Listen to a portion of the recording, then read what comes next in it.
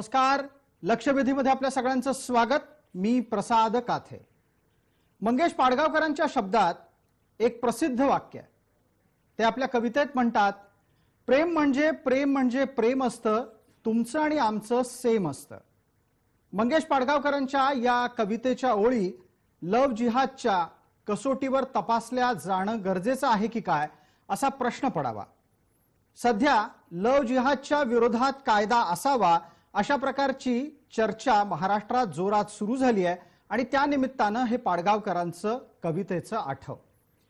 पाडगावकरांच्या कवितेत प्रेमाच्या विविध भावना व्यक्त झाल्या पण या प्रेमाच्या भावनांना धर्माची फोडणी देऊन त्या आडून धर्मप्रसाराचं राजकारण भारतात खेळलं जातंय का असा सवाल लव जिहादच्या निमित्तानं उपस्थित होतो. भारतीय जनता पार्टीचं सरकार असलेल्या एका राज्याने लव जिहादच्या विरोधात कायदा करण्याचं निश्चितपणे ठरवलं आणि त्यानिमित्तानं देशभरात ही चर्चा सुरू झाली. या चर्चेला महाराष्ट्र पातळीवर हवा दिली ती काँग्रेसच्या एका मंत्र्यांनी. अशा प्रकारचा कोणताही कायदा गरजेचा नाही इतकी ठाम भूमिका काँग्रेसच्या एका मंत्र्यानं घेतली आणि आश्चर्यकारकरित्या आता सत्तेत गेलेल्या सेक्युलर शिवसेनेनं अपेक्षेप्रमाणे आपली भूमिका बदलली.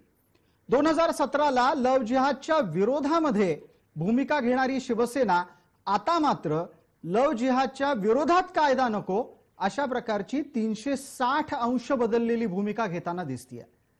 शिवसेना सत्तेत आहे काँग्रेसचं तिला समर्थन आहे आणि या दोन प्रमुख पक्षांची लव जिहादच्या संदर्भातली भूमिका समोर आली आहे.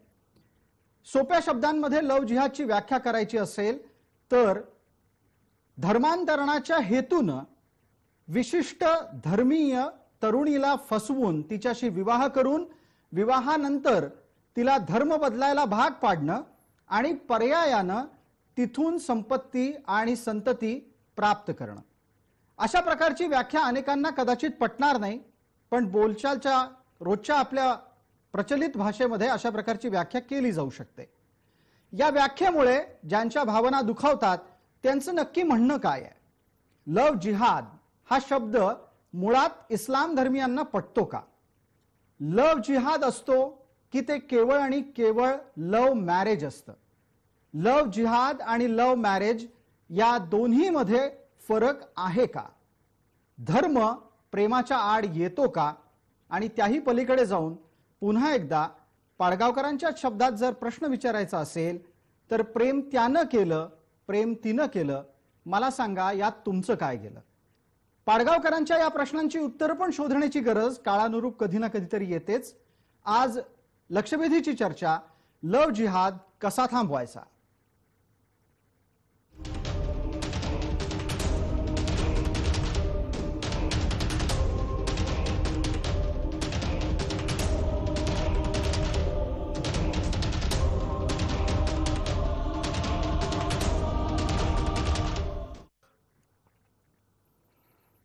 या चर्चेत आपल्याबरोबर सहभागी होत आहेत ज्येष्ठ साहित्यिक विचारवंत आणि हिंदू धर्माचे अभ्यासक सच्चिदानंद शेवडे मूल निवासी मुस्लिम मंचाचे अध्यक्ष अंजुम इनामदार भारतीय जनता पार्टीचे प्रवक्ता शिवराय कुलकर्णी आणि काँग्रेसच्या प्रवक्त्या नीलम नीला लिमये. नीला लिमये त्याचबरोबर शिवराय कुलकर्णी आपल्यापर्यंत या चर्चेच्या राजकीय वळणावर नक्कीच येऊ चर्चा सुरू करू. तत्पूर्वी माझा पहिला प्रश्न थेट आत्ता सच्चिदानंद शेवडे यांना आहे. ज्या ज्या वेळेला सच्चिदानंदजी लव जिहादच्या समर्थनाची भूमिका घेण्याची वेळ येते तेव्हा तेव्हा असा तर्क दिला जातो की दोन व्यक्तींमध्ये स्त्री आणि पुरुष यांच्यामध्ये जे प्रेमाचे संबंध आहेत त्याला धर्माची फोडणी देण्याची गरज नाही. मुळात प्रेमविवाह आणि धर्मांतरणाच्या हेतूनं बळजबरीनं केलेला विवाह या दोन्हीतला भेद विचारवंतांना लक्षात यायला वेळ लागतोय का? खरे एका परीने प्रसाद प्रसादजी तुम्ही जे काही बोललायत ना त्यातच त्याचं उत्तरही आहे. पहिला तुमचा प्रश्न आहे दुसरं तुमच्या बोलण्यामध्ये तसं बघायला गेलं तर उत्तर आहे.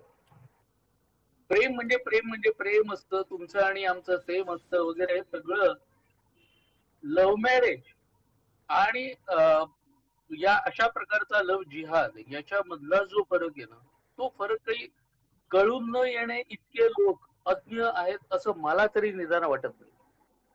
अनेक लोक नाही तर वेगवेगळ्या धर्माचे असलेले असे अनेक जोडपी मी पाहिले ती सुद्धा सुखाने नांदतायत नाही असं नाही. प्रश्न कुठे येतो? प्रश्न ज्या वेळेला अशा प्रकारचं लग्न होताना समोरच्या व्यक्तीचा धर्म वेगळा असताना तो तसाच मानून पुढे न जाता त्याला आपल्या धर्मातच येण्याची जेव्हा सक्ती केली जाते त्यावेळेला त्याला म्हटलं जातं लव जिहाद बरं लव जिहाद हा शब्द जसा म्हटला जातो की हिंदुत्ववादी लोकांनी कुठून तरी मॅन्युफॅक्चर केलाय वगैरे मला तसं वाटत नाही. याचं कारण असं आहे की हा केरळ मधून पहिल्यांदा आला लक्षात घ्या. बर.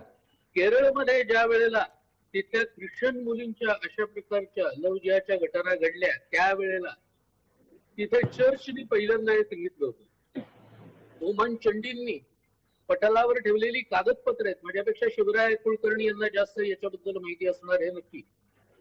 तेव्हा त्यांनी त्यावेळेला सांगितलं होतं की दोन हजार चौदा पर्यंत जवळपास सव्वीसशे प्लस मुलींची प्रकरणं केरळमध्ये घडलेली आहेत. त्यानंतर कर्नाटकातली एक संस्था पुढे आली त्यांनी तर तिथला आकडा तीस हजार प्लस सांगितला. मला सांगा की हे सगळं पाहिल्यानंतर ज्या वेळेला कोणाला चिंता वाटत असेल तर ही चिंता जर वाटून घ्यायची नसेल तर मग कठीण आहे. आज अधोरेखित केलीत या निमित्ताने एक गोष्ट तुम्ही अधोरेखित केलीत ती अशी की अधिकृतरित्या या प्रकरणात कायदा करण्याची भूमिका ही डाव्यांचं राज्य असलेल्या केरळनं घेतली आहे. आणि त्याच्यानंतर इतर कोणी ना कोणीतरी ती घेतलेली आहे याची तपशीलवार माहिती तुमच्यासमोर तुमच्या निमित्तानं समोर आली. पुढचा माझा प्रश्न अंजुम इनामदार यांना आहे. अंजुम इनामदार लव जिहादच्या निमित्तानं जेव्हा जेव्हा चर्चा होते त्या त्या वेळेला समाज माध्यमांवर वेगवेगळ्या गोष्टी व्हायरल होत असतात.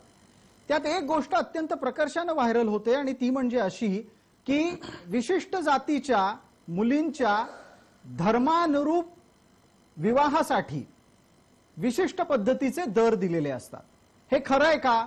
अशा प्रकारचा प्रचार इस्लाममध्ये होतो का? अशा प्रकारच्या प्रचाराच्या माध्यमातून इस्लाम न मानणाऱ्या व्यक्तींच्या स्त्रियांच्या बाबतीत धर्माच्या म्हणजे धर्मांतरणासाठी विवाह हे हत्यार म्हणून वापरलं जातं का?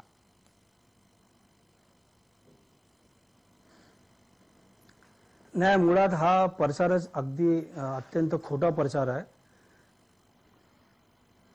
काही लोक लव मॅरेज ह्या शब्दाला लव जहाजशी जोडण्याचं जे काम सुरू आहे तो श- शब्दालाच खरं म्हणजे माझा आक्षेप आहे. कारण लव एक वेगळं आहे आणि जहाज हे वेगळं आहे. लव तेवढाच अत्यंत तो एक पवित्र शब्द आहे.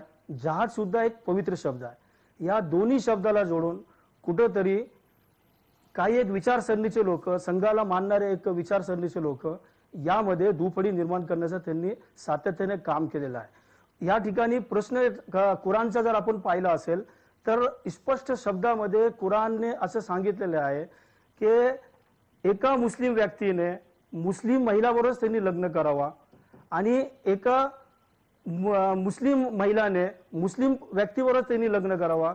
मग तो कितीही सुंदर असेल कितीही पैसेवाला असेल तर त्यांनी अजिबात आपला धर्म सोडून इतर धर्माशी त्यांनी लग्न करू नये. असा स्पष्ट शब्दामध्ये त्यांनी नाकार दिलेला आहे. ह्याचाच अर्थ जे लोक धर्म मानत नाही किंवा जे लोक इस्लाम इस्लामच्या तंतोतंत त्यांनी अंमल करत नाही अशा लोकांची कुठेतरी एक दोन उदाहरण देऊन ते संपूर्ण भारतीय मुस्लिमांना कुठेतरी बदनाम करण्याचं काम सुरू आहे. या शब्द जे आहे लव जहाद जहाद शब्दाला कुठेतरी बदनाम करून चुकीच्या पद्धतीने त्याची मांडणी करण्याचं काम सुरू आहे. यापूर्वी जसं इंडियन मुजाहिदीन अशा शब्द अशा नावाखाली अनेक मुस्लिमांना तुरुंगात टाकण्याचं काम केला. त्याचा पर्दाफाश झाला की इंडियन मुजाहिदीन नावाची कोणती संस्था नाही. तर तसंच मला वाटतं भविष्यामध्ये कुठेतरी लव जिहादच्या नावाखाली जे काय देशाची दिशाभूल करण्याचं. काम सुरू आहे ते कुठेतरी त्याचाही पर्दाफाश होईल. कारण त्याचाही पर्दाफाश होईल. तुम्हाला तुम्हाला लव जिहाद हा शब्द पटत नाही. लव जिहाद सारखी भावनाच अस्तित्वात नाही असं आपण अंजुम इनामदार सांगताय. पण तुमच्या या भावनेच्या व्यक्त करण्यादरम्यान तुम्ही एक महत्त्वाचा मुद्दा मांडलात की मुसलमानांनी मुसलमानांशीच लग्न करावं असा तुमचा धर्मग्रंथ सांगतो. सच्चिदानंद शेवडे मुसलमानांनी मुसलमानांशीच लग्न करावं या सांगण्याच्या आडून लव जिहादचा वापर होतो? अहो याच करता तर याच करता तर धर्मांतरणाचा आग्रह धरला जातो ना. उलट बरं वाटलं की त्यांनी हाय सांगितलं ते. माझं म्हणणं असे की दोन वेगवेगळ्या धर्माचे लोक असले आणि त्यांनी एकमेकांशी लग्न केलं आणि आपापले धर्म तसेच ठेवले तर काय बिघडतंय? पण तसं केलं जात नाही. ज्या वेळेला मुसलमान होणं समोरच्या माणसांनी याचा आग्रह धरला जातो त्यावेळेला इनामदार म्हणतायत ते अगदी बरोबर आहे. बर. सच्चिदानंद शेवडे आपला तांत्रिक कारणामुळे संपर्क तुटलाय. अंजुम इनामदार या प्रश्नाचं उत्तर हवंय. आणि ते उत्तर अशाच स्वरूपानं तुम्ही देऊ शकता. जो प्रश्न मी आपल्याला विचारतोय तुम्ही म्हणता ना की लव्ह मॅरेज आणि लव्ह जिहाद यामध्ये लोकांना फरक कळत नाही. माझा त्या अनुषंगानं प्रश्न आहे. जर एक स्त्री आणि एक पुरुष यांच्यात प्रेमसंबंध निर्माण झाले समजा त्यातला पुरुष इस्लाम धर्मीय आहे मु- मुलगी ही इस्लाम धर्मीय नाही तर लग्नानंतर मुलीनं इस्लाम धर्म स्वीकारावा अशी बहुसंख्या या प्रकारच्या लग्नांमधली बळजबरी का असते? मी जसं सुरुवातीला सांगितलं की स्पष्टपणे त्यांनी नाकार दिलेला आहे. मुस्लिम पुरुषांनी मुस्लिम महिलाबरोबर त्यांनी लग्न करावं. एखादी जर काय प्रेमाचा संबंध इथं येत नाही. एखाद्या मुलीने तो प्रेम न करता एखाद्या मुलीने जर काय इस्लाम धर्म स्वीकारलेला असेल तर एखादा मुस्लिम पुरुष त्याच्याशी लग्न करू शकतो. पण तोही बडजबरी नाही. दोघांच्या संमतीने जर असेल तरच हे होण्याची तर होऊ शकतो. मला असं वाटतं की प्रेम आणि लव या दोघांना फरक करून आपल्याला सर्वांना बघण्याचं बघितलं पाहिजे. कारण आपण पाहिलेलं असेल की आपल्या देशामध्ये अनेक सिनेमातले कलाकार आहे ते मुस्लिम असेल तर हिंदू मुलींबरोबर त्यांनी लग्न केलेलं आहे. त्यांना दोघांचा त्यांचा प्रेम झाला. काही मुस्लिम सिने अभिनेते जे आहे अभिनेते नेत्री जे आहे त्यांनी हिंदू बरोबर त्यांनी लग्न केला. तिथं कुठं ऑब्जेक्शन घेण्यात आलं नाही. भाजपचे आणि संघात काम करणारे अनेक कार्यकर्ते जे आहे जे भाजपमध्ये काम करतात भाजपचे मोठे पदाधिकारी आहेत शानवाज हुसेन सारखे असेल किंवा मुख्तार न- अब्बास नक्वी सारखे असेल त्यांचीही तुम्ही जरा बायका जर पाहिलं असेल तर ते हिंदूच्या माध्यमातून ते मुस्लिम झालेले आहे. आणि त्यांनी तसं लग्न केलेलं आहे. तर एक प्रेम जे आहे ते प्रेमाला मला वाटतं प्रेमच राहू दिलं पाहिजे. जसं आपण प्रेम राहू दिलं पाहिजे. मग याच्यामध्ये धर्म येतो कुठे?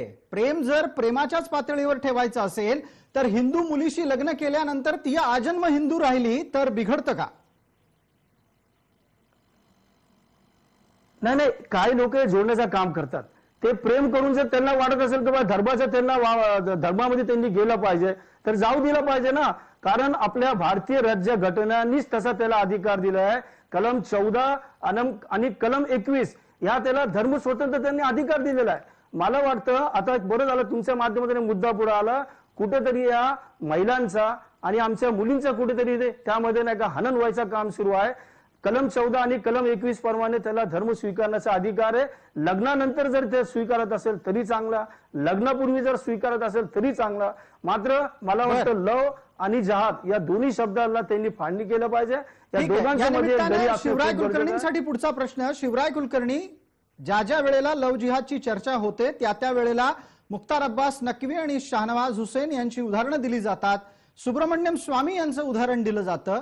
भारतीय जनता पार्टी म्हणून या नेत्यांच्या वैयक्तिक संबंधांकडे पाहावं का? एक. आणि दुसरा मुद्दा भारतीय जनता पार्टी महाराष्ट्रात लव जिहाद विरोधी कायदा करण्याची भूमिका घेत असताना शाहनवाज हुसेन मुख्तार अब्बास नक्वी आणि सुब्रमण्यम स्वामी यांच्या घरातल्या प्रकरणांबाबतीत बोलायला तयार आहे का? मला माझी इनामदारांना नम्र विनंती आहे की त्यांनी एकदा किंवा सगळ्या मीडियावाल्यांनी एकदा लव जिहाद प्रकरणी जी तिन्ही नावं तुम्ही आता घेतली त्या तिन्ही मान्यवरांचं वक्तव्य तुम्ही घ्या. जी भावना जेवढे आणि मी इथे मांडतोय तीच भावना त्यांची देखील आहे. त्याच्यामुळे हे उदाहरण अत्यंत आहे आतापर्यंत जी चर्चा पिस्तूल आहे त्या चर्चेमध्ये इनामदार सांगतात की प्रेम हा अतिशय मोठा शब्द आहे पवित्र शब्द आहे. त्याच्यानंतर जिहाद हा देखील पवित्र शब्द आहे. या दोन पवित्र शब्दांची सांगड आम्ही केलेली आहे. आम्ही याची सांगड केलेली नाही आहे. हे धर्मांतरणासाठीच ही सगळी प्रेम प्रकरण होतात. त्याच्यामध्ये प्रेमाचा पत्ता असतो त्याच्यामध्ये पूर्ण यंत्रणा उभी केलेली असते आणि त्या यंत्रणेच्या माध्यमातून हिंदू मुलींचं धर्मांतरण करून त्यांना मुस्लिम करायचं आणि त्याच्यातून आपला आपली संख्या वाढवायची नंतर जाणारी मुलं वाढवायची हे जे कारस्थान आहे हे आता काही पूर्ण देशामध्ये लपून राहिलेलं नाही. कुलकर्णी एवढं- एक एक एक मिनिट. पहिले आपल्याला थांबवतो एका कारणाच्या साठी कारण तुमचा आवाज नीट येत नाहीये. काही नेटवर्कचा मुद्दा कदाचित दिसतोय तुम्ही तुमची भूमिका मांडत राहा. मी परत आपल्यापर्यंत येईन. दरम्यानच्या काळात आपण आपलं इंटरनेटचं कनेक्शन तपासा. नि- नीला लिमये आपल्यासोबत आहेत. नीला लिमये काँग्रेसची महाराष्ट्रात नक्की भूमिका काय आहे? लव जिहादच्या प्रकरणामध्ये त्यांना कायद्याचा हस्तक्षेप लव जिहाद सारख्या प्रकरणांमध्ये हवाय की काँग्रेसला लव जिहाद होतच नाही असं वाटतं.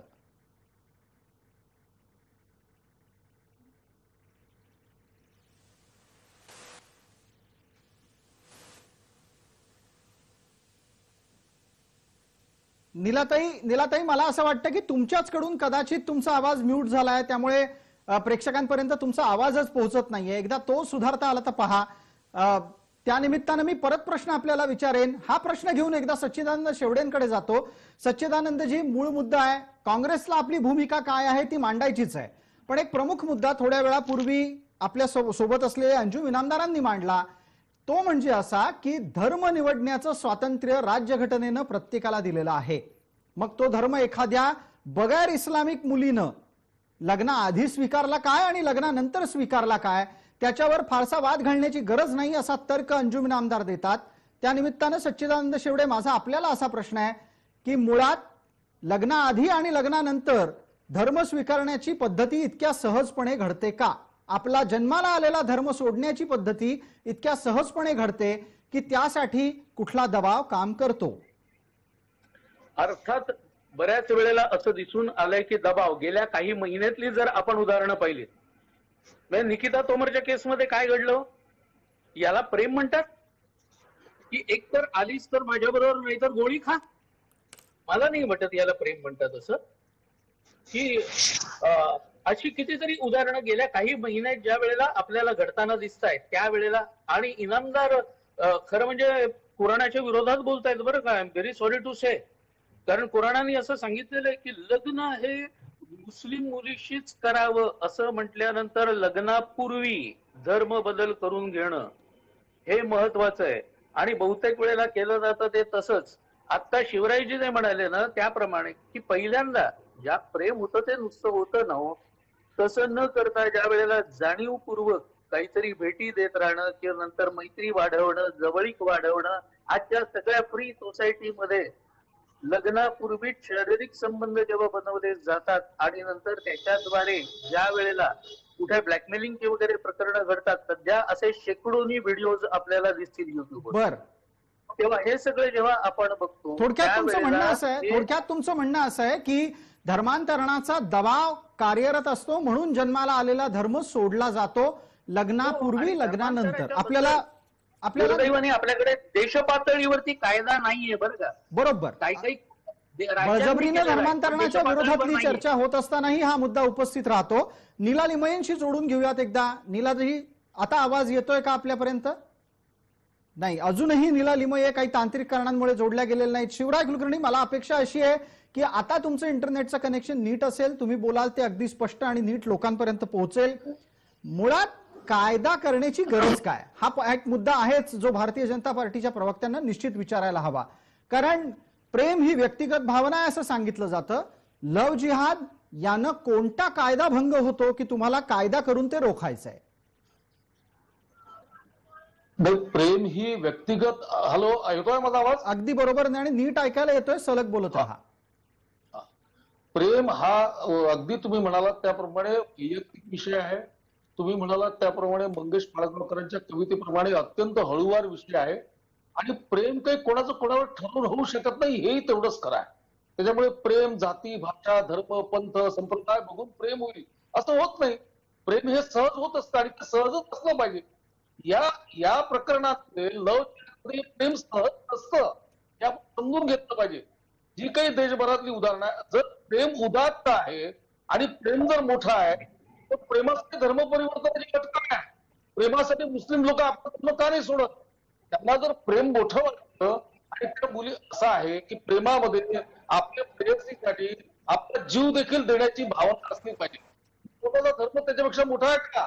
धर्म सोडला पाहिजे. प्रेम मोठा तर त्यासाठी धर्म सोडला पाहिजे. आणि जर धर्माची चौकट आपल्याला घातलेली आहे आणि मशिदीच्या बाहेर ईश्वर प्राप्त होऊ शकत नाही ही जर आपली जागतिक धारणा आहे ती मस्करात पडायला नको? त्याच्यामुळे त्याच्या मागचा जो काही डाव आहे आपल्याला तो अत्यंत स्पष्ट झालेलं आहे. त्याची सगळी कागदपत्र कोर्टाच्या समोर आलेली आहेत आहे. आलेली आहेत.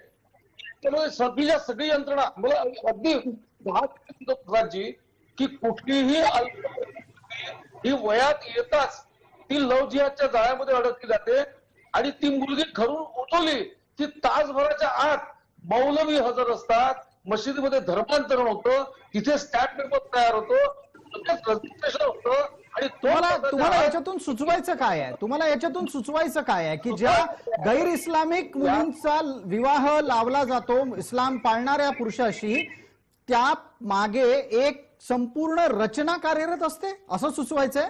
दोन शंभर टक्के म्हणूनच कायद्याची गरज आहे. यंत्रणा मला सांगा एक परिवार समग्र समाज उभा राहतो. धर्मांतरण कुठे होतं? धर्मा धर्मांतरण मशिदीमध्ये होतं. तिथे मौलवी लागतो. तो मौलवी नाव देतो. तिथे stamp मला काय वाटतं? तुला हे करण्यामागे वकील उभे असतात गाड्या उभ्या असतात वाहन असतात पैसा असतो पुढच्या महिन्यात दोन महिन्याची व्यवस्था असते.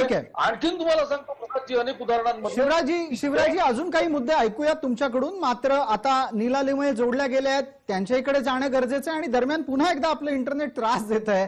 आपण या विषयावर तुमच्याकडे परत संवाद साधायला येऊच. निलालिमय मगाशी मी आपल्याला असा प्रश्न विचारला होता कदाचित माझा प्रश्न आपल्यापर्यंत पोहोचला. तुमचं उत्तर प्रेक्षकांपर्यंत आलं नाही. मी प्रश्न पुन्हा एकदा आपल्यासमोर मांडतो. लव जिहाद अस्तित्वात आहे का? काँग्रेसला काय वाटतं? लव जिहाद विरोधी कायदा महाराष्ट्रात असावा की नाही? काँग्रेसची अधिकृत भूमिका काय? मला वाटतं याचे दोन भाग करूया प्रसादजी. पहिली गोष्ट कायदा काय सांगतो हा एक भाग त्याच्याबद्दल बोललं पाहिजे. असावा की नसावा ह्याच्याबद्दल बोललं पाहिजे. पण तत्पूर्वी आपण हे बोललं पाहिजे की आपली जी संपूर्ण लग्न संस्था आहे मग ती कुठच्याही धर्मातली असू दे बरं का.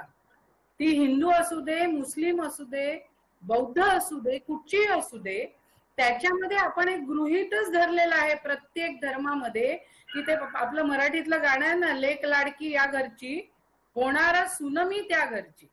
म्हणजे इकडनं उठून ती मुलगी तिकडे जाते तेव्हा ती तिकडचीच होते हे प्रत्येक धर्मात आहे. आणि प्रत्येक संस्कृती ते ठासून ठासून सांगते की आता तुझं माहेर हे आता फक्त नावापुरतं आहे. आई वडिलांकडनं मागणं म्हणजे फक्त चोळी बांगडीचा अधिकार आहे हिंदू धर्मात आपण जे बोलतो ते. आता सासर हेच तुझं घर आहे असं ठासवलं जातं. मला असं असं वाटतं पहिली गोष्ट की मला सगळ्यांचं नीट ऐकू येत नव्हतं मध्ये पण हे जे आहे की धर्म बदलणं ते फक्त एकाच धर्मात नाही असं. आपण निश्चित लक्षात घेतलं पाहिजे. प्रत्येक धर्मामध्ये कारण जसं ते आहे ना मालमत्ता कशा कशात साठलेली आहे? एखाद्या समाजाची किंवा एखाद्या कुटुंबाची तर त्याच्यात जसं जड जीव जवाहीर त्यांची मालमत्ता म्हणजे स्थावर जंगम तसं महिला हा सुद्धा संपत्तीचा एक भाग वर्षानुवर्ष आपल्याकडे धरला गेलेला आहे. आणि त्यामुळे तिचं दान करणं ती दुसऱ्याला देणं त्याला आता ग्लोरीफाय खूप करतात. ती संस्कृती म्हणून खूप मोठं काही त्याच्यामागे सांगतात. पण मुळात असं आहे वस्तू म्हणून दान करायची एक मौल्यवान वस्तू आणि त्याच्यातला भाग असा आहे प्रत्येक धर्मामध्ये धर्म बदलल्याशिवाय लग्न होत नाही. त्याच्या पुढे मला असं म्हणायचं आहे की. म्हणूनच संविधान असं मानणारा आपला जो देश आहे त्याच्यामध्ये स्पेशल मॅरेज ऍक्ट म्हणजे काय? विशेष लग्नाची ज्याच्यामध्ये आंतरजातीय आंतरधर्मीय किंवा साधं सुद्धा अशा ज्या विशेष तरतु- तरतुदी केल्या आहेत ते स्पेशल मॅरेज ऍक्टमध्ये केलेले आहेत. सध्या जे जे लग्न होतात त्याला जर विशेष कायदे त्यांना अधिकार जर मिळवायचे असतील निलाताई तर तो पक्षाची अधिकार पक्षाची. भूमिका काय आहे? ते ऐकायचंय. काँग्रेसचं म्हणणं हो, काय ते मी आहे येते तुम्हाला त्याच्यापर्यंत. काँग्रेसला लव- लव जिहाद पटतो? लव जिहाद होतो नाही होतो? हो, त्याच्यापर्यंत लव मी जिहादच्या येते. विरोधात कायदा हवाय की नकोय काँग्रेसला काय वाटतंय? त्याच्यात महिलांना दान म्हणून समजणं हा एक मोठा भाग आहे. आणि त्याच्यामध्ये मोठा भाग हा आहे की ती तिकडचीच होणार. आणि मग त्यावर आधारित जिहाद. जसा एखादा बॉम्ब असतो तसं जणू काही लव जिहाद असं एक तयार झालंय. तुम्ही जर पाहिलं असेल तर दोन हजार आठ नंतर दोन हजार चौदा पर्यंत ते डॉर्मंट होतं. दोन हजार चौदा नंतर जणू काही अशा मोठ्या यंत्रणा झालेल्या आहेत. माझं असं म्हणणं आहे मी आज आज परत चेक केलं जिथे शक्य होईल. गुगलवर म्हणा वर्तमानपत्रांमध्ये अशा किती केसेस आहेत? त्याचे आकडे मांडले गेले पाहिजे. केसेस म्हणजे कशा किती केसेस नीलाताई नीलाताई अशा. केसेस म्हणजे कशा केसेस आहेत? आणि दोन हजार चौदाच्या नंतरच लव जिहादची चर्चा जास्त सुरू झाली? ते इनामदार म्हणाले की लव्ह मॅरेज आणि जिहाद ह्याच्यातला जो फरक आहे एक तर जिहाद हा शब्द आता आपण फक्त धर्माच्या संदर्भात वापरतो तसा त्याचा अर्थ अरेबिकमध्ये सुद्धा नाही. पण असं समजा सध्या तो फक्त धर्म रक्षणाकरता आणि केवळ मुसलमानच वापरतात या रीतीने तो केला जातो. खरं म्हणजे आपल्या संविधानानुसार प्रत्येकाला आपला धर्म प्रसार करायचा नीट मार्गाने अधिकार आहे. नीलाताई पण म्हणून पक्षाची भूमिका सांगा ना काय आहे? नीलाताई पक्षाची भूमिका सांगा काय आहे? तुमचं तुमचं तुमचं मत कळलं तुमची भावना कळली. पक्ष काय सांगतोय? पक्षाला लव जिहाद मान्य आहे की नाही मान्य आहे? नाही एक एक पहिली गोष्ट लक्षात घ्या. लव जिहाद अशी एखादी यंत्रणा तयार आहे असं कुठेही आतापर्यंत सिद्ध झालेलं नाही. पहिली असं गोष्ट. गोष्ट असा कायदा करण्याची अजिबात गरज नाही. कारण आपल्याकडे स्पेशल मॅरेज ऍक्ट आहे. ज्यांना ज्यांना लग्न करायची आहेत ती त्यांनी स्पेशल मॅरेज ऍक्टमध्ये करू शकतात. त्यांना सगळे अधिकार मिळू शकतात. हे अगदी लक्षात घेतले पाहिजे. आता याच्यात एक मुद्दा याच्यात एक मुद्दा नीलाजी नीलाजी आपण असं म्हणालात की स्पेशल मॅरेज. ऍक्टच्या अनुसार लोकांना लग्न करता येतात. लव जिहाद विरोधी कायदा करण्याची गरज नाही. ही काँग्रेसची भूमिका आहे का तुमची भूमिका आहे? का दोघांची भूमिका आहे?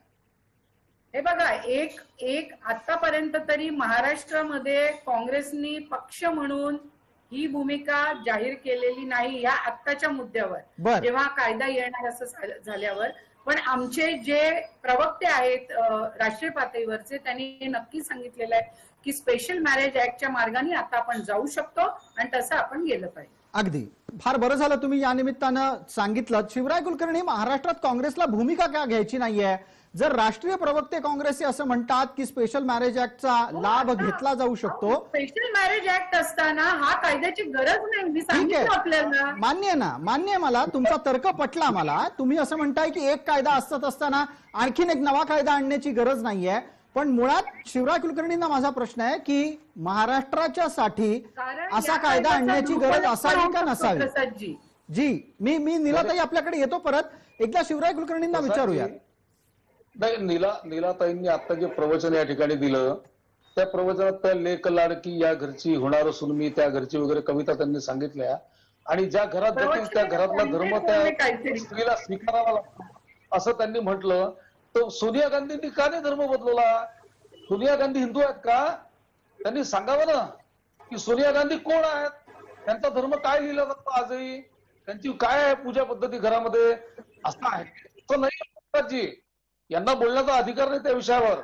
आणि महाराष्ट्रातली काँग्रेस म्हणा किंवा देश का? नाही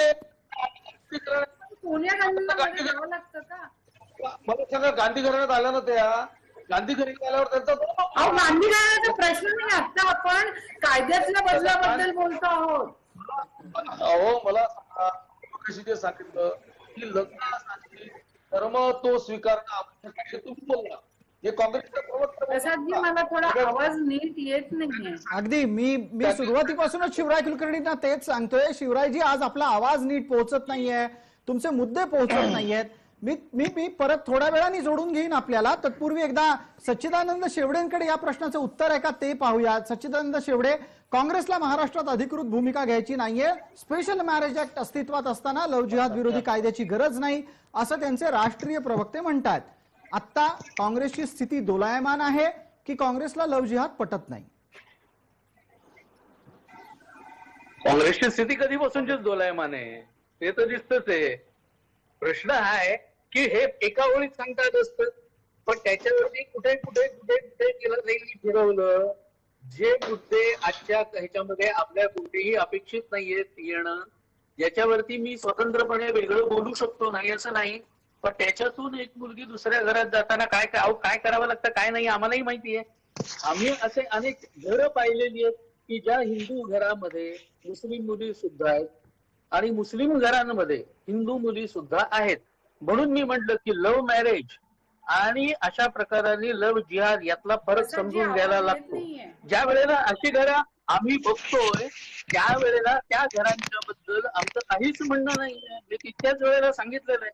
मात्र ज्या वेळेला प्रेम सुद्धा अशा पद्धतीने बघून केलं जातं किंवा त्याच्यामध्ये सुद्धा मला सांग गरीबा घरच्या मुली कशा नाहीये तो या याच्यात लव्ह जिहादमध्ये आणि का नाहीये पण मग पण मग सचिन आपला आपला तर्क काय आहे? म्हणजे तुम्हाला सुचवायचं काय आहे याचा याच्यामधून की सधन घराच्याच मुली केवळ आणि केवळ लव जिहादच्या माध्यमातून धर्मांतरणासाठी वापरल्या जातात का? ज्या इस्लामी नाहीत इस्लाम पाळणाऱ्या नाहीत त्या मुली पण त्यात सुद्धा त्या सधन असाव्यात उच्चवर्णीय असाव्यात असा काही निवड निकष असतो का काय त्याच्यामध्ये? सच्चिदान असं आपल्याला वाटायला लागलंय विचारलं ना. हो असं वाटायला लागलंय. कारण पैतृक संपत्तीमध्ये मुलींचा अधिकार आहे. म्हटल्यानंतर जर पैतृक संपत्ती ही उत्तम असेल सांपत्तिक स्थिती चांगली असेल तर त्याच्यामधून त्या घराला सुद्धा काही काहीतरी मिळू शकतं. संशय घ्यायला वाव भरपूर आहे लक्षात घ्या. आणि यामुळे हे जे सगळं काही दिसतंय त्यामुळे जे काही सगळं दिसतंय ना हे चिंताजनक आणि अधिक चिंताजनक होत जातं. ठीक आहे. अंजुम इनामदार यांच्यासाठी पुढचा प्रश्न आहे. अंजुम इनामदार आपण आता नीला लिमा यांची भूमिका ऐकली असेल. त्यांच्या राष्ट्रीय प्रवक्त्यांचं म्हणणं असं आहे की स्पेशल मॅरेज ऍक्ट अस्तित्वात आहे. धर्म बदलण्याची गरज नाही. आता हे इस्लाम अनुसरणाऱ्यांच्या व्यक्ती स्वातंत्र्यावरचं आक्रमण समजणार आहात काँग्रेसच्या राष्ट्रीय प्रवक्त्यांचं वक्तव्य की यापुढे जो कोणी व्यक्ती किंवा जी महिला मुसलमान पुरुषाशी लग्न करेल तिला धर्म न बदलण्याची मुभा देणार आहात.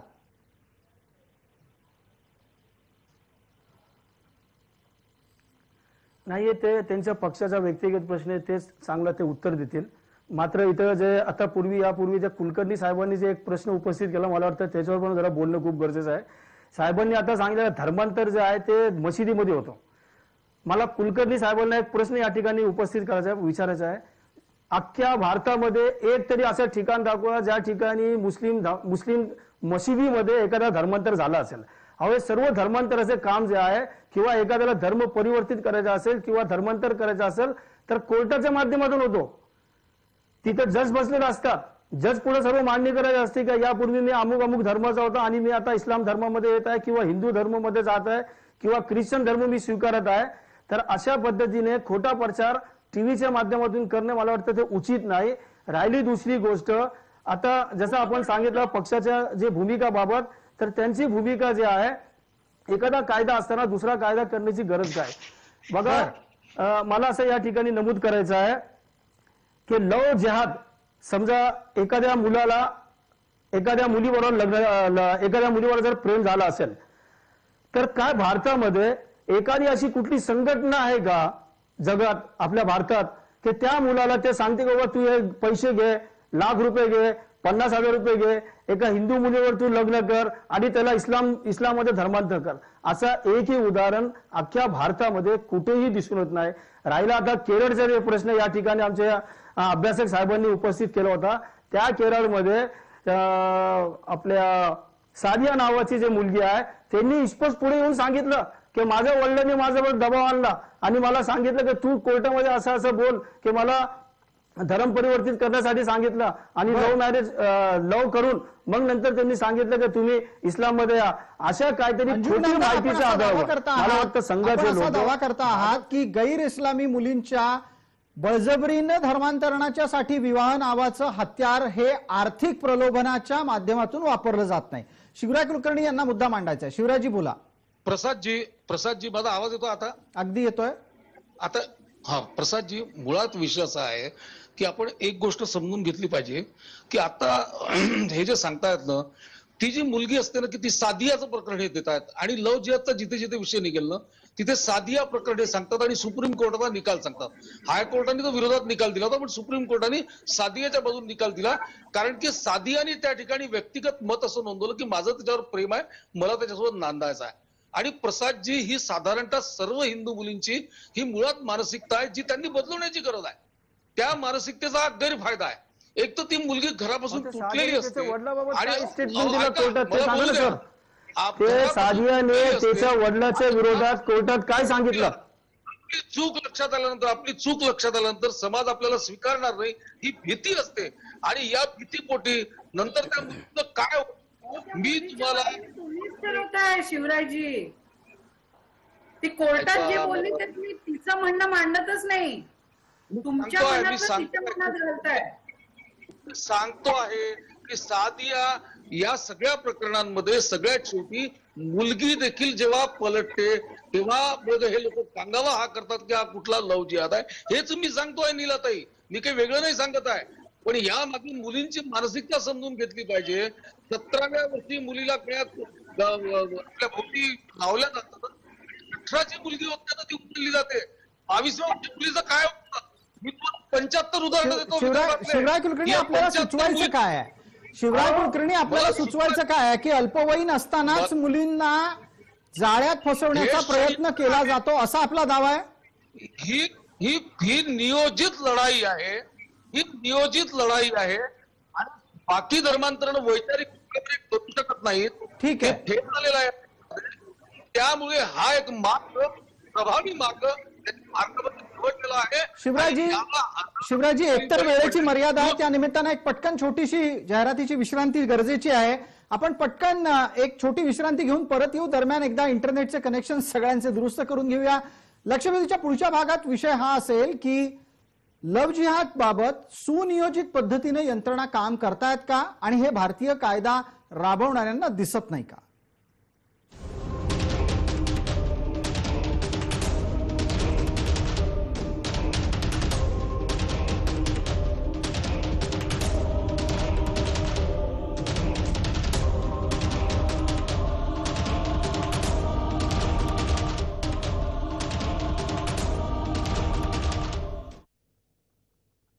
लक्षवेधीच्या या भागात आपल्या सगळ्यांचं स्वागत. आपण चर्चा करतोय लव जिहाद कसा थांबवायचा? गेल्या भागामध्ये चर्चा थांबली होती. त्यावेळेचा मुद्दा होता की लव जिहाद सरसकटपणे एका विशिष्ट रचनेमार्फत जर चालवला जात असेल तर त्याच्याकडे भारतीय कायदा सुव्यवस्था राखणाऱ्या यंत्रणांचं लक्ष आहे की नाही? आता सच्चिदानंद शेवडे आहेत आपल्यासोबत. त्यांच्यासाठीचा हा प्रश्न आहे की भारतात कायदा सुव्यवस्था राखण्याची जबाबदारी ज्यांच्यावर आहे त्यांच्यावर बळजबरीनं धर्मांतरण रोखण्याची पण जबाबदारी आहे. आणि त्यांना लग्न हे हत्यार बनवून धर्मांतरणाच्या साठी जर वापरलं जात असेल कुणा एका विशिष्ट धर्मियांकडून तर ते न व्हावं यासाठी डोळे उघडे ठेवता येतात का? सच्चिदानंद शेवडे उत्तर देणार आहेत. बरोबर आहे. हे करायलाच पाहिजे असं माझं म्हणणं आहे. यात वाद नाही. मला गंमत याची वाटते की जर कोणाच्या सुरक्षेसाठी किंवा या मुलींच्या सुरक्षेसाठी जर असा काही कायदा होत असेल तर त्या कायद्याला मुलींच्याकडे न बघता विरोध का केला जातोय? का त्या विरोधात सुद्धा राजकारण आणलं जातंय? मग यामध्ये बळी पडणाऱ्या मुली केवळ हिंदू आहेत असं नाही तर त्याच्यामध्ये ख्रिश्चन सुद्धा आहेत. कारण मगाशी मी म्हटल्याप्रमाणे निराताईंनी जे सांगितलं दोन हजार चौदा पासून जास्त करून मांडलं गेलं तर दोन हजार चौदा मध्ये तो ओमन चंडींनीच मांडलेला होता पटलावरती हा विषय. त्यामुळे त्याच्यामध्ये केरळ अग्रस्थानी होतं. बाकी कोणी अग्रस्थानी नव्हतं. फक्त असं आहे फक्त असं फक्त फक्त सच्चिदानंदजी विषय असा येतो की दोन हजार चौदा म्हटल्यानंतर मोदीच सत्तेत आल्यावर देश बदलायला लागला का काय अशा प्रकारची चर्चा येते. आणि म्हणून दोन हजार चौदा म्हटलं की लोकांना तेवढंच आठवतं. पण एक गोष्ट तुम्ही अधोरेखित केली ती फार बरं झालं की डाव्यांचं सरकार असलेल्या ओमन चंडींच्या कार्यकाळामध्ये हा मुद्दा प्रामुख्यानं पटलावर आला. आता मला पुढचा प्रश्न आपल्यासोबत असलेल्या अंजुम इनामदार यांना विचारायचं आहे. अंजुमजी माझा आवाज आपल्यापर्यंत पोहोचतोय अशी अपेक्षा आहे. एक थेट मुद्दा उपस्थित करतो की जर समजा जर समजा लव जिहाद हा अस्तित्वात नाही तर इस्लाम पाळणारे सगळेजण एकत्रित येऊन त्याच्या विरोधात भूमिका घेताना का दिसत नाहीत?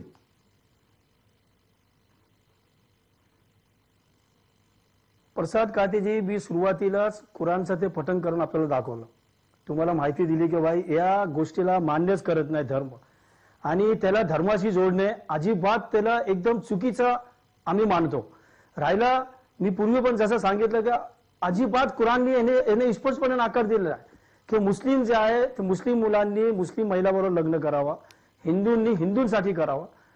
त्याची जे आमचं काय देणं गेलेलं आहे पण हे असे शब्दाचा प्रयोग करून भारतामध्ये कुठेतरी दुफडी निर्माण करण्याचं काम करतात.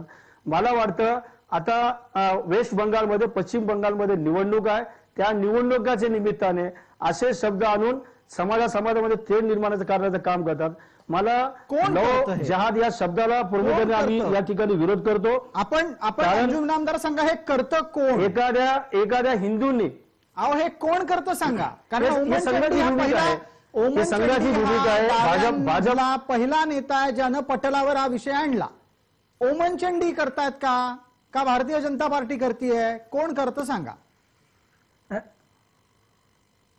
बघा संघाचे विचारसरणीचे लोक जे मनुवादी विचाराला मानतात असे लोक काही ना काहीतरी शब्द पुढे आणून एका समाजाला टार्गेट करण्याचं काम करतात. यापूर्वी पण मी सांगितलं की इंडियन मुजाहिदीनच्या नावाखाली जसं मुस्लिमांना टार्गेट करण्यात आला ट्रिपल तलाकच्या नावाखाली जसं महिलांची फसवणूक झाली ओमन चंडी कधीपासून तसंच या संघाचे पद्धतीने झाले? लव जिहादच्या नावाखाली कुठेतरी ओमन चंडी कधीपासून संघाचे झाले? विचार नाही नाही हा हा शब्द तुम्ही माझ्या तोंडात टाकू नका. मी हेमंत चंडी बाबत बोलत नाही ना, संघाची विचारधारा आहे. संघाच्या विचारांचे मनुवादी लोक. अशा प्रकारचा प्रचार करतात. जर ओमन चंडींनी पहिल्यांदा हा विषय पटलावर आणला तर ओमन चंडी संघाचे कसे झाले? ओमन चंडींचा डावा विचार पक्का आहे. मग तिथे फक्त आणि फक्त संघाचीच माणसं हा प्रचार करतात. फक्त आणि फक्त. मनुवादीच विचार करतात. असा दावा कसा होऊ शकतो? नाही नाही ते दावा होऊ शकतो. कारण त्याला जास्त हवा देण्याचं काम संघाचे लोकच करतात. ठीक आहे कदाचित. एखाद्या ठिकाणी जर कुणी सांगितलं असेल तर त्याला पूर्ण एका पद्धतीने पूर्ण ताकदीने संघ त्याला पुढे आणतो ना हा मुद्द्याला. ठीक आहे. आता कुणाची सरकार बोलतं करूया. शिवरायजी मला सांगा हा काय प्रकार आहे? तुम्हाला ओमन चंडींचे विचार फार जवळचे वाटायला लागलेत. म्हणून संघवाले डाव्यांच्या हव्या असलेल्या विचारांना जास्तीत जास्त प्रचारित आणि प्रसारित करतायत का? धर्माधर्मात तेढ वाढवण्याचं काम या निमित्तानं डाव्यांच्या खांद्यावर बंदूक ठेवून संघ करतोय का? हा विषय ना डावे ना ओमन चंडी ना संघ ना भाजप यांचा हा विषयच नाही. आहे विषय हा आहे की या देशामध्ये जर आपण ईश्वर अल्लाह परिणाम सबको संमती दे भगवान सर्व शेवटी ईश्वर एक आहे असं जर मानणारे लोक आहेत तर मग बळजबरी धर्मांतरणाचा प्रश्न येतो कुठे? त्याच्यामुळे प्रत्येकच धर्म म्हणजे हिंदू धर्मातले लोक देखील असं जर करत असतील तर ती देखील अत्यंत वाईट भावना आहे. हो असं माणसाने सोडल्याचा प्रकार आहे की जोर जबरदस्तीने मुलींना फितवायचं त्यात धर्मांतरण करायचं. सगळ्यात तुम्हाला मी प्रसाद एक गोष्ट सांगू का? या देशातले हे जे प्रॉब्लेम आहे आम्हाला मनुवाद यांना इस्लाम शिवाय मुलीशी लग्न करणं मान्य नाही. आणि हे दुसऱ्यांना नावं ठेवून राहिले. यांना मशिदीच्या बाहेर देखील परमेश्वर मिळू शकतो हे ज्यांना मान्य नाही तिथून ही सगळी गडबड आहे.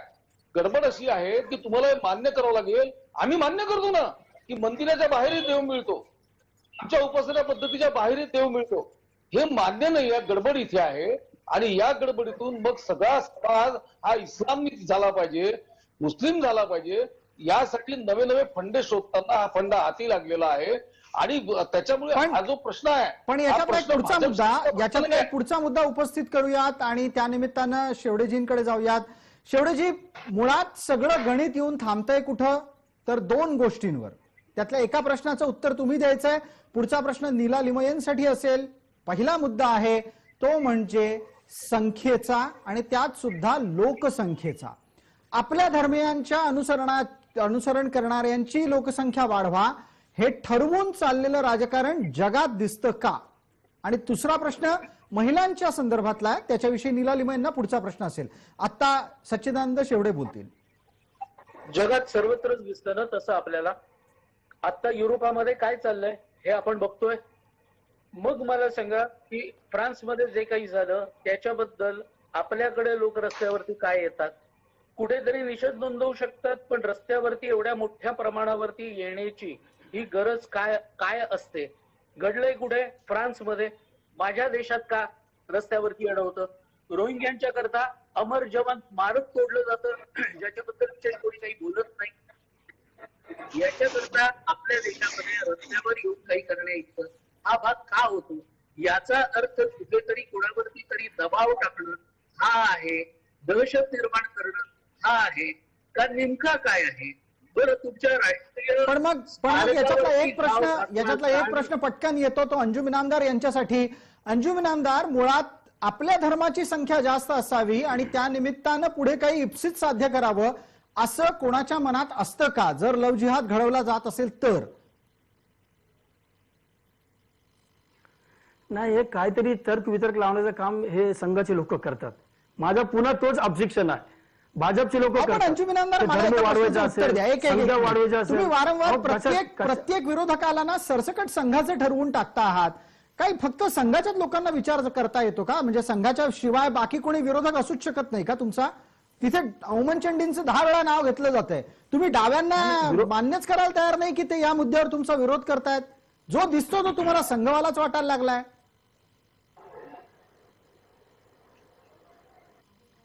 नाही हे आयडिओलॉजी मुळात हे संघाची आयडिओलॉजी आहे.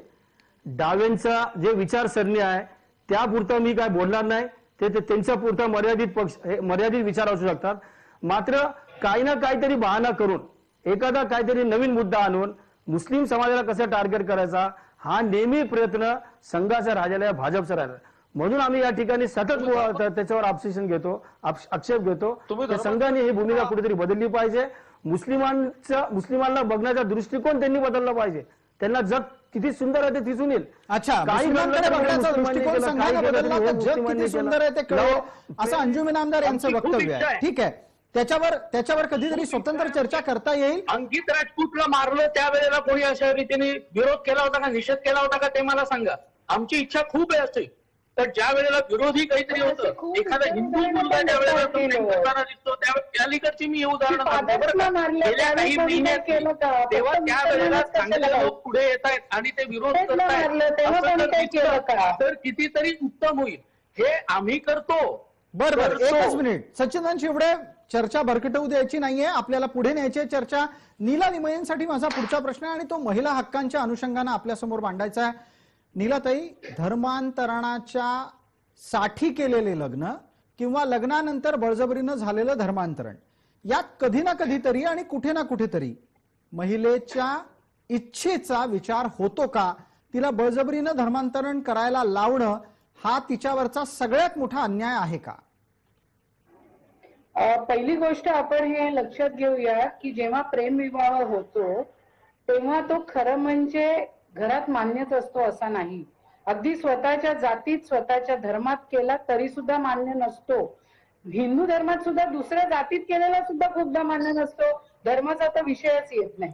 हिंदू कुठल्याच धर्मात आंतरजातीय लग्न सहज स्वीकारलं जात नाही. एक्झॅक्टली प्रत्येक वेळेला आपण फक्त हिंदू धर्माचंच उदाहरण द्यायला नको. कोणीच स्वीकारत मी सुरुवातीला सगळ्या धर्माबद्दल बोलले प्रसादजी की. कोणत्याही धर्मामध्ये समानता दिली जात नाही. असं सुरुवातीलाच बोलले मी.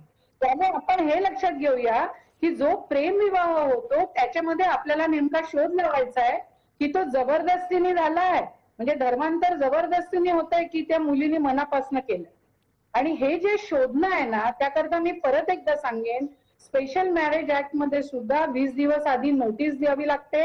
ती नोटीस दिल्यानंतर कोर्टासमोर हजर व्हावं लागतं दोघांनाही.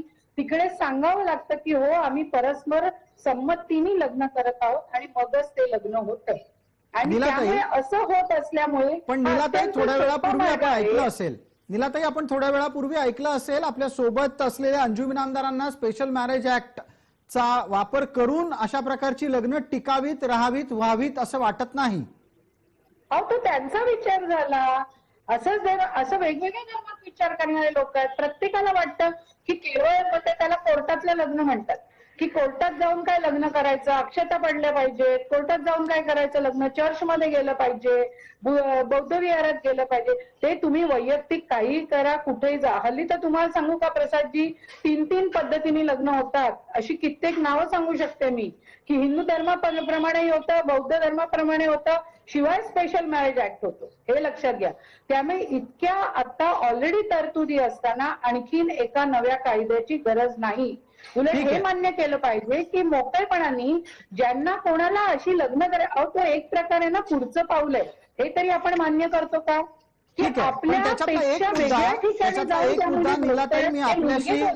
आपल्याशी प्रश्न विचारताना आपल्या बरोबर आपल्याला प्रश्न विचारताना उपस्थित केला होता की लग्न बाजूला ठेवा पण त्या लग्नाच्या आडून धर्म बदलण्याची बळजबरी होते. त्यात महिलेचं मत हे अधिकाधिक ग्राह्य मानलं जावं. असं आपल्याला वाटतं का? आणि तसं होत नसेल तर तो तिच्यावरचा एक मोठा अन्याय आहे का? हाही प्रश्न मी आपल्याला विचारला हेच मी सांगत होते की ह्याच्यामध्ये असं आहे की दोघे जेव्हा प्रेमविवाह करतात त्यांना कोर्टासमोर हजर होऊ दे आणि स्पेशल ऍक्टमध्ये त्यांना व्हावंच लागतं. त्यावेळी तुमच्या लग्न लक्षातच येतं आपल्या की हे जबरदस्तीने आहे की तिला ती स्वतःच्या मनाने लग्नाला तयार आहे. हे ओळखण्याची सोपी साधी पद्धत आहे. आता होणार काय माहितीये? हा कायदा एकदा आला ना तर लोक ज्यांना त्याच्यामध्ये खोडे घालायचे ते काढून काढून लग्नाचे शोधून काढतील. ठीक आहे. शिवराय विचारूया लोकां- ते कायद्याचे समर्थक आहेत. शिवराय कुलकर्णी कायद्याच्या आडून दोन प्रेमी जीवांच्या मध्ये खोडा घालण्याचा प्रयत्न करण्याचा हा डाव आहे का? काँग्रेसचा तसा दावा आहे निष्कर्ष आहे. नाही, कायद्याच्या आडून दोन प्रेमी जीवांमध्ये बिलकुल खोडा घालायचा नाही आहे प्रेमी जीव प्रेमी जीवांसारखे वागले पाहिजे. प्रेमी जीव जर प्रेमाच्या नावाखाली युद्ध करत असतील तर त्याच्यामध्ये खोडा घालण्याचा डाव आहे.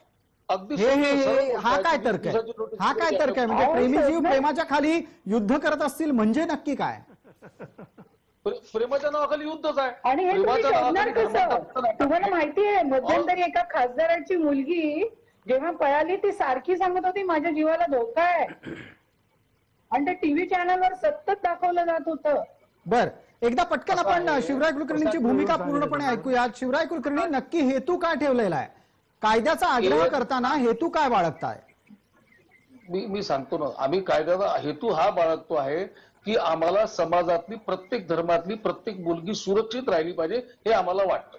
त्याच्यामुळे हा जो कायदा आहे हा कायदा काही मुसलमानांच्या विरोधातला कायदा नाही. उद्या मुसलमानांच्याही मुलीच्या बाबतीत जर काही या प्रकार हो, ऐका ना तुम्ही. त्यांनी स्पेशल पॅराडाईमबद्दल बोलावं असं मला वाटतं. बद्दल मी बोलतो ना तुम्हाला. या लव जिहादच्या प्रकरणांमध्ये देखील सगळे सगळे म्हणजे गोपनीय पद्धतीने सगळे कागदपत्र मॅनेज केले जातात. लव कागदपत्र तुम्ही लावू शकता लव जिहादमध्ये देखील कागदपत्र आकडेवारी जाहीर आकडेवारी जाहीर करायची आकडेवारी आवश्यक ती सगळी यंत्रणा उभी केली जाते. मी तुम्हाला शेकडो मुली दाखवतो. त्यांना मुलं झाल्यानंतर शेकडो मुली असं नाही. सांगा त्या मुलीचं नाव सांगा. मुलींचे इंटरव्ह्यू बघा. त्या मुलींची वैयक्तिक जाऊन भेटा. तुमच्या लक्षात येईल की किती भयंकर षडयंत्र हा. आवश्यक आहे. हा कायदा एवढ्यासाठी आवश्यक आहे की याच्या मागे जो धर्मांतरणाचा छुपा अजेंडा आहे तो धर्मांतरणाचा अजेंडा बिलकुल या देशातल्या कोण्याही मुलीच्या वाट्याला आणि कोणाच्याही कुटुंबाच्या वाट्याला येता कामा नये. ठीक आहे. प्रयत्न कुलकर्णी. धन्यवाद. आपलं उत्तर पोहोचलं बऱ्याचदा मध्ये मध्ये इतरही लोकांनी आपापली मतं मांडली पण अखेरीस तुमची भूमिका लक्षात आली. कायदा मागणारे माणसं ही धर्मांतरण अधिकाधिक वाढू नये आणि ते प्रसंगी लग्नाच्या आडून बळजबरीनं होऊ नये याच्यासाठी ती भूमिका घेतात. आपल्याला सगळ्यांना वेळेची मर्यादा असल्यानं इथे थांबणं भाग आहे. अन्यथा ही चर्चा आणखीन वेगळ्या मुद्द्यांवर याही पुढे करता आली असती. तुर्तास लक्षवेधीमध्ये इतकंच ताज्या बातम्यांसाठी आपण पहा. फक्त जय महाराष्ट्र.